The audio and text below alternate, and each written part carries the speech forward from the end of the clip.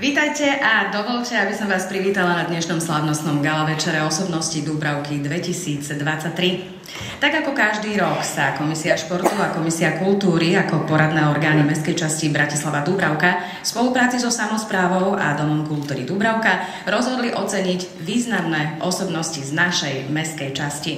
Teraz mi dovolte pozvať sa na pódium osobu najpovolanejšiu starostu Dúbravky Martina Začoviča, ktorý odštartuje aj dnešný gala večer svojim príhovorom. Ale najväčšia vďaka patrí tým, kto to celé vymysleli a organizujú, že Komisia športu, Komisia kultúry a Dom kultúry. Ďakujem vám, že to organizujete.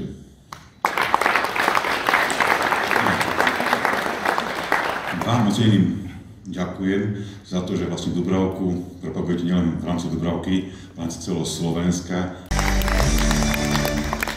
Legendárny novinár, otec slovenského rozhlasu, v januári tohto roku sa dožil krásnych 91 rokov. Ako dlhoročný šéf-redaktor literárno-dramatického vysielania položil základy intelektuálneho vnímania kultúrnosti vo verejnom priestore. No, dnes ešte aktuálnejšie ako predtým. Je autorom najsledovanejšieho rozhlasového seriálu Slovenska Čonového Bielikovci a nezanedbateľnej časti Zlatého fondu Slovenského rozhlasu. Na Slovensku zaviedol vrcholový žáner rozhlasovej publicistiky Fischer. Je nositeľom ceny Vojtecha Zamarovského za celoživotný prínos v oblasti literatúry a zlatej medaily Alexandra Dubčeka. V 50. rokoch bol súčasťou prevratnej generácie novinárov združených v denníku Smena. 17 rokov bol zahraničným korešpondentom Smeny v Poľsku a vedúcim redakcie časopisu Poľsko. Po návrate na Slovensko pracoval od roku 1971 v Československom, respektíve Slovenskom rozhlase až do odchodu do dôchodku v roku 1999. Po odchode do dôchodku naďalej autorsky spolupracoval so slovenským rozhlasom.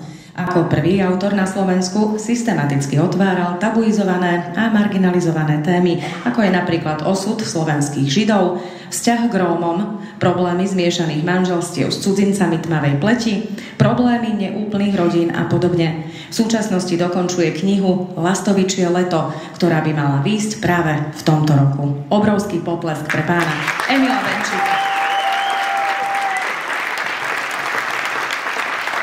Thank you.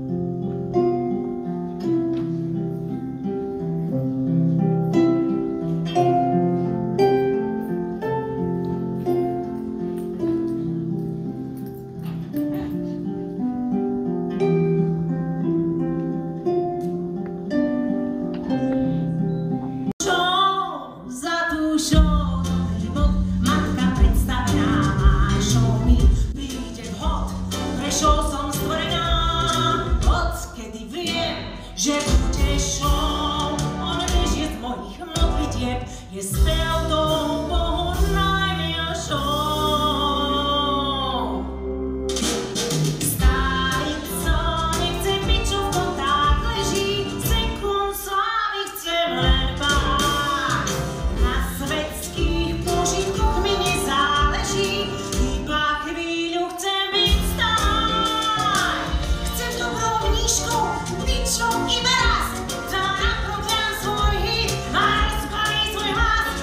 Dúfam, že máte z tohto 7. ročníka Gala Večera Dubravčan roka rovnaký pocit ako ja. Ešte raz veľká gratulácia oceneným a ešte príjemný večer všetkým. Ďakujem krásne.